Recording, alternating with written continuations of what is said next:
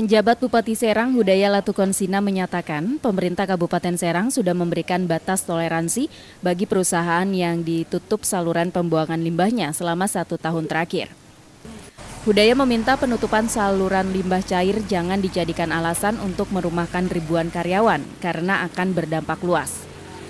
Hudaya menduga ada unsur kesengajaan perusahaan dengan dalih penutupan saluran pembuangan limbah dengan merumahkan para karyawannya. Kalau mau benar bikinlah pengolahan limbah yang lebih baik sehingga nanti limbah setelah diolah air air airnya itu kan bisa menjadi air baku kembali ke masuk ke mana ke ujung.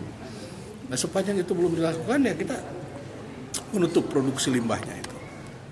Jangan-jangan malah kita curiga ini. Pabrik dengan sengaja alasan ini digunakan untuk mem-PHK gitu. Nah, ini bahaya malah buat pabrik. Oh silahkan saja lah kalau mau dituntut oleh pekerja nanti gitu ya. Jadi bisa dituntut gitu Pak? Oh bisa, kalau tiba-tiba tanpa alasan, apalagi didasarkan alasannya oleh karena penutupan, undang-undang lebih tegas kok. Pemkap Serang akan mengecek kebenaran terkait adanya ribuan karyawan yang dirumahkan oleh perusahaan pembuang limbah ke sungai.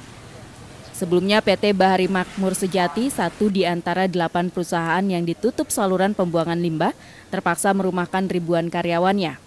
Hal itu dilakukan imbas adanya penutupan saluran pembuangan air limbah oleh Pemkap Serang. Makviro melaporkan untuk CTV Network.